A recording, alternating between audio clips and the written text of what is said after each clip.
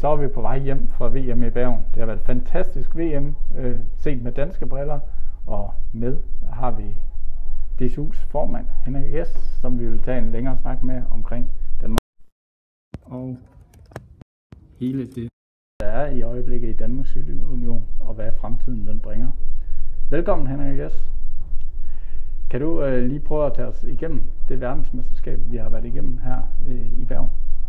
Jamen, jeg kan gøre det meget kort øh, med et ord. Verdensklasse. Vi har jo leveret langt over vores målsætning, som var tre medaljer, og vi har nu i bagagen sølvmedalje og to bronze. Så det er i særdeleshed verdensklasse. Hvad er det, der lykkes så godt den her gang? Jamen allerførst skal jeg jo kreditere vores rytter og atleter. De er utrolig disciplinære. Det er nogle rigtig rare unge mennesker, der passer deres træning og, og hele den måde at, at være cykelrytter på. Dernæst vil jeg også øh, rose vores trænere. De trænere, vi har i vores øh, cykelunion i dag, er super dygtige til at få det bedste ud af det ryttermateriale, vi har. Og de har også vist sig igen rigtig dygtige til at sammensætte øh, nogle stærke hold. Og det er ikke så let, når man har en, en stor palette i flere klasser at vælge imellem. Så vi har set, at øh, vi den her gang har i, de, i den grad markeret os på linjeløbende og skabt øh, mestre i, i de discipliner også, og det er ekstremt flot. Hvad har overrasket dig mest ved det her VM? Jamen det, der har overrasket mig mest, det er selvfølgelig, at vi, vi kommer op på så højt et niveau, fordi vi havde nok frygtet, at øh, laksebakken og hvad de hed, de forskellige stigninger derude, ville tage pipet fra flere af vores, øh, især særdeleshed de unge ryttere. Men samtidig har det øh, været meget positivt at følge den udvikling, vi har nu, hvor vi faktisk har mange, der banker på døren, således vi i næsten øh, flere felter har kunne køre flere strategier, og vi så har lykkes med planen. Og det er jo næsten lige fordelt på mænd og kvinder, øh, de her medaljer. Øh, og der er også elite øh, medalje i, i, i blandt øh, ved Amalie, som for fjerde gang ud af fem år henter en medalje. Øh, kan du prøve at så sætte øh, lidt ord på, på, på damerne også, øh, hvad det er, der er lykkes? Fordi det har også været en satsning for mm. Danmarks Cykelunion de seneste år.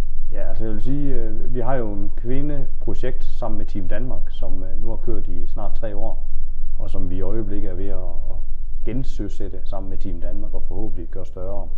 Og vi har set den her gang, hvor vi har fire, undskyld, syv stærke kvinder på stregen.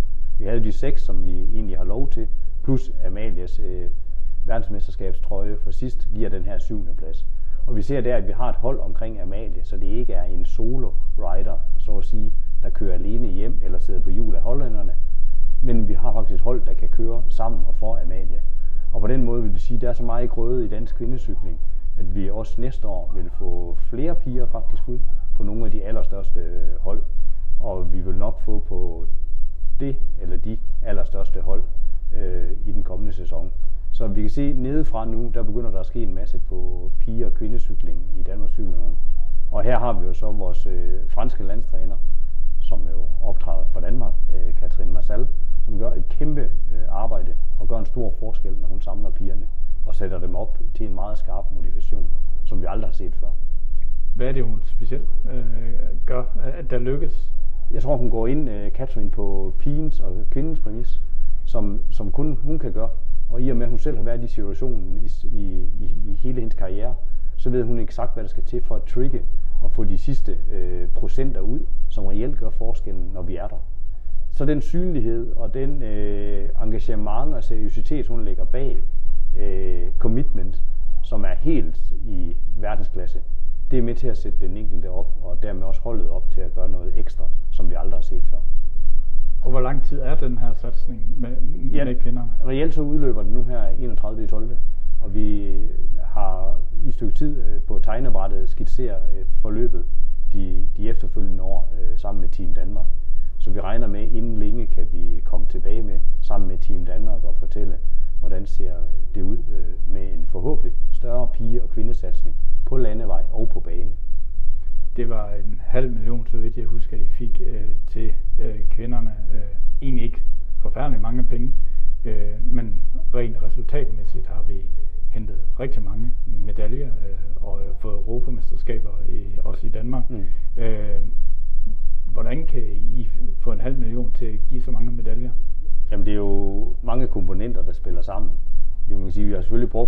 setup, vi i forvejen har. Men hertil har vi så skulle afholde eksempelvis øh, det at ansætte en Katrin, men også lave nogle ture for nogle af pigerne, som gør, at de kommer ud og kørt som et landshold. Og det er det, midlerne har været brugt til. Samtidig må vi også sige, at vi har fået løftet pigerne så meget, at de i dag sidder ude på stærke hold, hvor at øh, de danske piger bliver taget meget seriøst. Og jeg har blandt andet under det her VM talt en del med Savilo Biklas øh, ejer, Thomas Kapane, som fortæller om den seriøsitet, han oplever, når han har piger på sit hold. Og bemærke, at næste år har vi jo tre danske piger på, på CV Lubikla, som dermed også får dansk licens. Og hvor han siger, at øh, den der oplevelse, han har med, at de gengælder på en anden måde, end han oplever for mange andre nationer, øh, det betyder noget. Så der er noget i vores, øh, vores danskhed, og vores, øh, i særdeleshed vores danske piger, når de kommer ud på andre hold, så viser de vidt, noget af alt det, de både kan og vil. Det, at, at, de, øh, at I har, har det her på tegnebrættet, kan, kan du fortælle, hvad det er, der er på tegnebrættet af, af, hos damerne? Ja, men det er, at vi kan arbejde videre med Katrin, frem for alt som øh, kvinderlandstræner. Det er, at vi kan komme ud og skabe større grundlag for pige- og kvindecykling, altså få flere ind og, og være med til at løfte dem det sidste stykke op til verdenseliten. Og så bliver det også en satsning forhåbentlig på, på baneområdet, vi gerne vil have med, i og med, at vi jo får en uh, disciplin mere til OL i Tokyo. Madison, altså det vi kalder parløbet på dansk, hvor vi absolut har piger, kvinder, der kan træde ind med det samme og køre med i toppen. Men uh, alt det her, det kræver en, en finansiering, for at vi kan realisere det. Så, så det er de hovedområder, der er i spil nu. Og det, at du 23 herrene, øh, og mændene har, har leveret også. Mm. Hvad betyder det for DSU? Øh, er der nogle bonusaftaler, eller, eller er, er det bare en, en del af driften? Mm. Nej, men altså vi har jo igen her, når vi tager det øverste elite, hvor vi måler de her ting, så er det jo sådan, at vi har det, der hedder en masterplan med Team Danmark, og i den mål sætter vi til hver eneste mesterskab, til europæiske mesterskaber, verdensmesterskaber i de forskellige discipliner, hvad vi gerne skal nå. Og der kan man sige, der har vi om nogen hældt øh, godt og grundigt op i klasse med de her resultater. Men, men det giver ikke en ekstra bonus, men det giver os bare endnu et øh, bevis for, at vi er på rette vej, og vi har opfyldt vores mål. Øh, og eksempelvis Amalias øh, tredjeplads øh, er sådan noget, der er med til at opfylde det. Men også når vi kigger på en Martin Toft, øh, der gør det godt i, i TT'en, og vi også øh, i går ser en Søren Krav køre ind som nummer 13 i elite. De, de ting tæller også med og betyder noget i det setup. Og vi har i Danmark fået 31 medaljer, øh, både ved EM og VM. Sidste år var rekorden 19.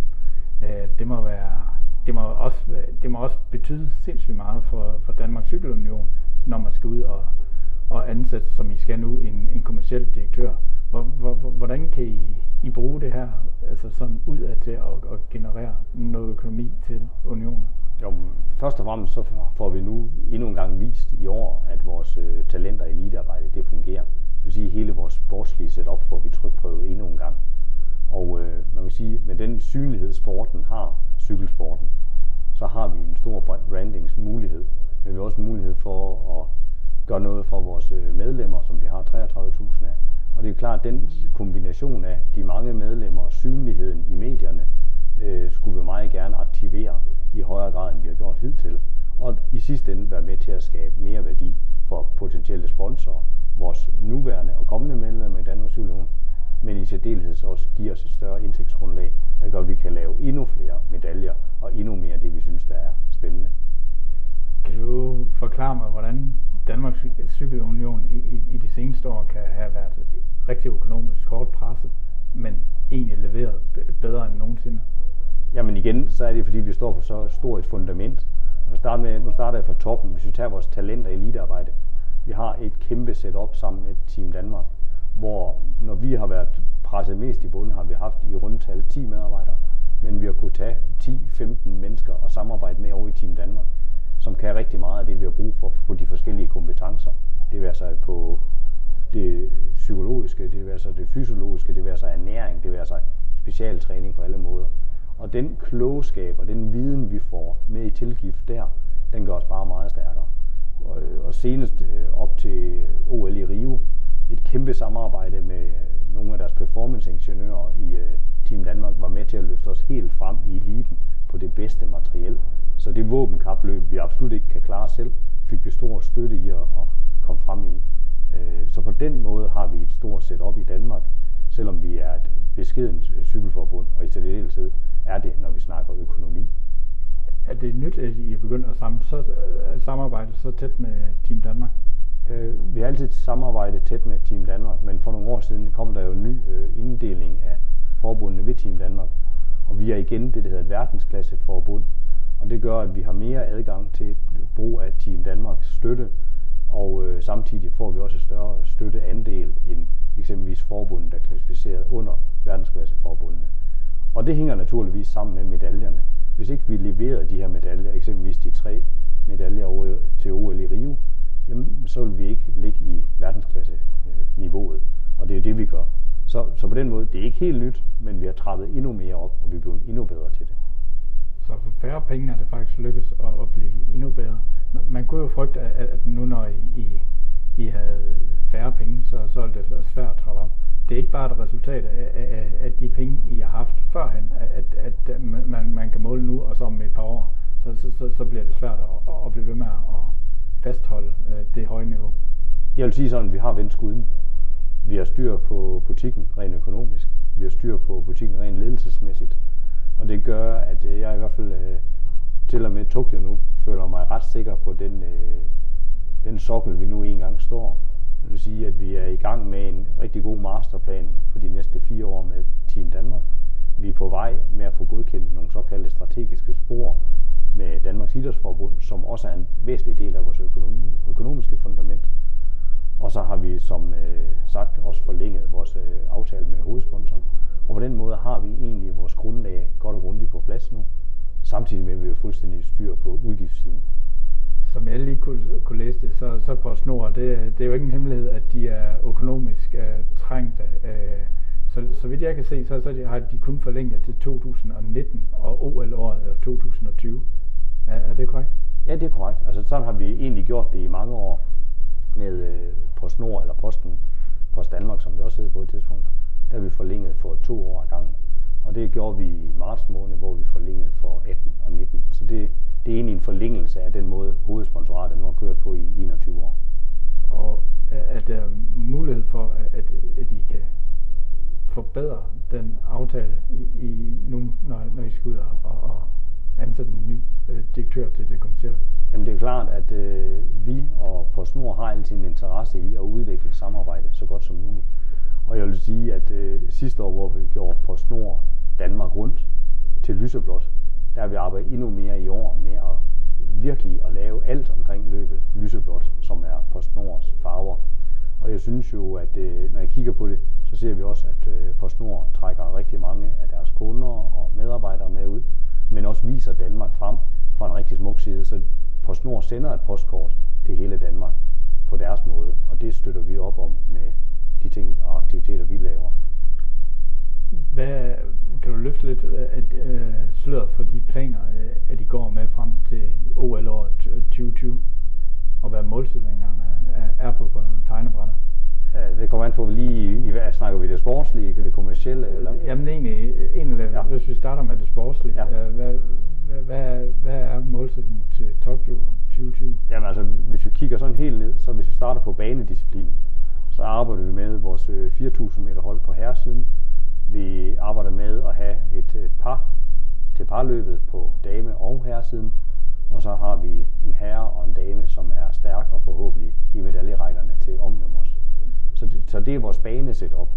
Og alene det kræver, at vi kommer hele verden rundt til World Cups øh, hver år for kvalificere os til VM, for så igen at samle point nok sammen til OL i alle de her discipliner.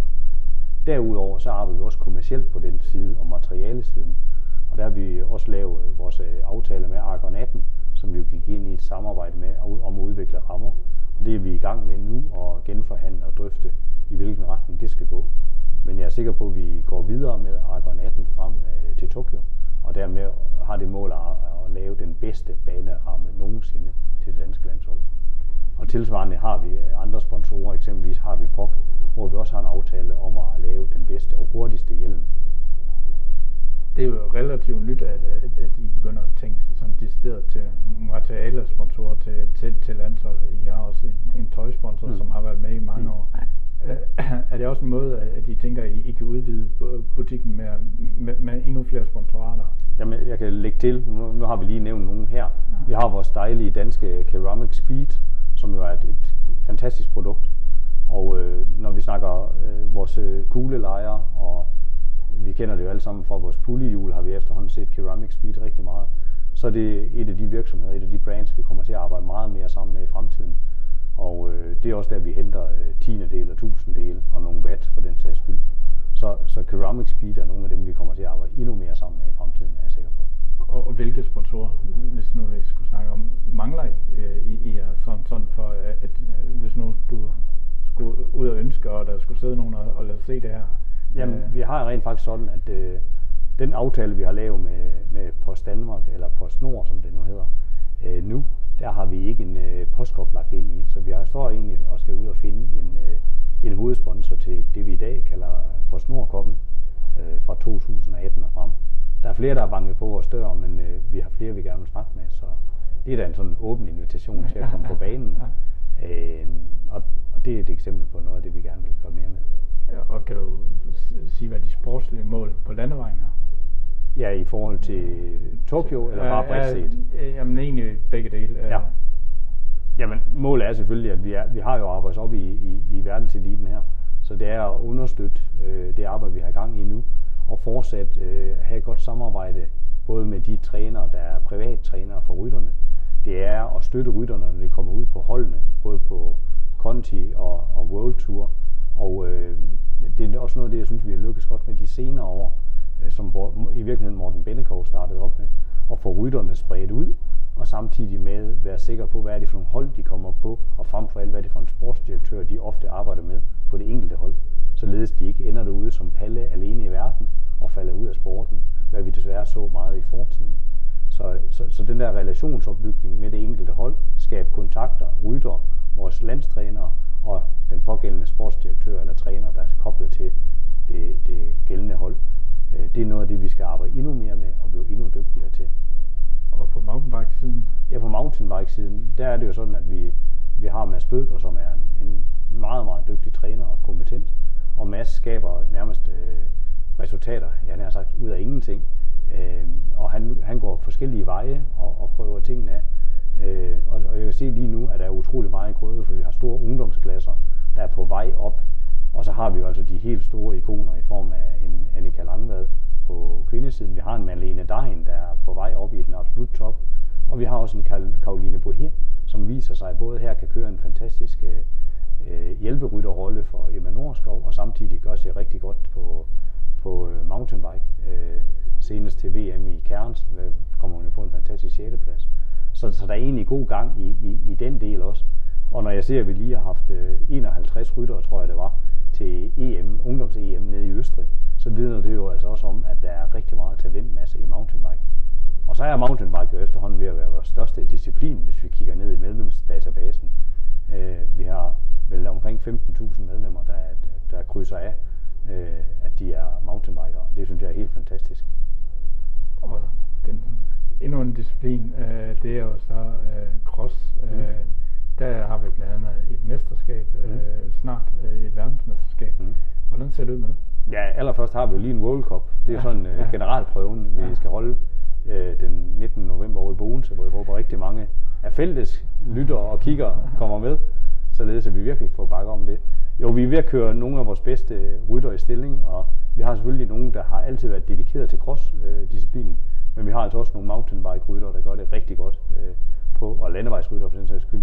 Og jeg kan da se, at Annika, hun træner sig øh, rundt omkring i øjeblikket i verden, og jeg ved, at øh, en Simon Andreasen øh, om nogen gør sig klar. Det er jo på hans hjemmeø, øh, at vi skal have den her, øh, eller det her verdensmesterskab i 19. Så øh, der vil jeg også sige, at vi, vi arbejder med det. Men i og med, at cross ikke er en OL-disciplin, så er det ikke et sted, der er støttefinansieret i forhold til vores arbejde med Team Danmark. Så der har vi udelukkende egen finansiering fra Danmarks Cykelunion til at løfte den opgave. Er det en svær opgave? Økonomisk kunne vi selvfølgelig godt ønske os, at der af hensyn til crossen var nogle muligheder der. Så skulle der igen være nogen her, der tænker, jeg vil gerne ind som øh, sponsor, så lad os øh, få et visitkort eller en, en kontakt, øh, så tager vi gerne en dialog om, hvordan kan vi sammen udvikle mere på crossen. Øh, Og en ny disciplin, I har fået ind, det er BMX. Ja. Øh, Hvordan går det med at få den integreret i Danmarks Cykelunion igen, kan man sige? Ja, jeg synes faktisk, det går øh, rigtig godt. Normalt vil jeg nok som nordjyde have sagt rimelig godt, men jeg synes faktisk, det går rigtig godt. Vi har nu ansat en koordinator, der tager sig an, og de mange kører hed det over i DMU, nu hedder det ryttere. Øh, Når vores BMX-rytter de er rundt i verden, så er der altid en koordinator, og det har vi en person, der tager sig af. Og tilsvarende har vi fået ansat en øh, landstræner, som senest lige har været til OL. Øh, Så jeg synes egentlig på det område, hvor vi snakker talent elitearbejde, har vi fået grebet godt fat om noget af det, der måske manglede til sidst i det arbejde, der foregik øh, i et andet forbund. Og samtidig så arbejder vi rigtig meget med forståelsen af, hvordan er det, vi arbejder med talentudvikling i Danmarks Cykelunion versus det, man gjorde i BMX øh, tidligere. Og øh, der, der har vi haft en, hvad skal man sige, en øh, holdningsdannende proces, som absolut ikke er afsluttet endnu, men vi bliver alle sammen klogere på, hvor er det, vi skal hen, og hvordan sikrer vi, at vi kan levere på topniveau. Og så noterer jeg mig da i øvrigt lige, at Simone Tete Christensen stadigvæk ligger træer på øh, ranklist, som er super, super flot. Og Simone er jo også, hun er outstanding, øh, og er stadigvæk en stor kandidat, når vi kommer til Tokyo på, øh, på medaljesiden. Det er, det er en, I også der satser meget på til, til medalje i OL også. Ja, altså sammen med Team Danmark øh, arbejder vi rigtig meget med at sikre, at Simone øh, i særdeleshed har de bedste vilkår for at kan holde sig helt knivskarp i, i toppen af, af verdenseliten, og dermed også levere, når vi når til Tokyo. Samtidig kigger vi selvfølgelig på, hvad kommer der ellers af, af ryttere, som vi kan arbejde videre med i BMX. Og det, nu har vi snakket lidt den lange bane. Hvad er det der, skal, der sker i Danmarks Cykelunion sådan her på en kort bane det, det næste halvårs tid? Jamen, du var inde på det lige før øh, omkring det her med en kommersiel chef, som vi, vi nu har en stillingsannonce ude omkring. Vi vil gerne øh, skabe et bedre indtægtsgrundlag, men vi vil også gerne pleje de sponsorer, vi har nu og potentielle. Og det, det er noget, en af de discipliner, vi i hvert fald ikke har været i verdensklasse på, kan man sige mildt. Og det vil vi meget gerne øh, dyrke noget mere. Og så ser vi jo, at, at cykling optager så mange mennesker. Og vi tror også på, at der er plads til, at vi tager en lille bid af den lavkage, som kan være med til at finansiere endnu mere øh, talent og eliteudvikling. Og i sidste ende levere endnu flere medaljer til Danmark. Hvad, hvad er det for en del af lavkagen, at- de gerne vil, vil tage mere for jer af? af? Jamen, vi vil frem for alt gerne udnytte det potentiale, vi har. Øh, eksempelvis vores forskellige løbserier i de forskellige discipliner. Øh, så at sige bundle, pakke noget sammen, således at potentielle sponsorer kan købe sig ind i cykling eller være med i cykling på mange facetter. Øh, og det kan også være til at vores aktiviteter og event, hvor man bliver en del af det, sammen med det at få skabt en synlighed om sit brand, sin virksomhed, sit produkt. Så, så det er på den måde, vi gerne vil ind og ja, smage lidt lavkage. Nu, nu har du været ved VM i Norge og set det mesterskab, at, at de har lavet i Norge, som var et utroligt flot mesterskab. Er der noget, du tager med dig fra, øh, derfra øh, og tænker, det, det skal vi helt klart have integreret i, i Danmarks Cykelunion? Jamen, jeg vil bare lige starte med at sige, at noget af det, man bliver opslugt, det er, når man har været i bagen nu i, i snart en uge. Det er jo hele den her folkefest, det er lykkedes at skabe.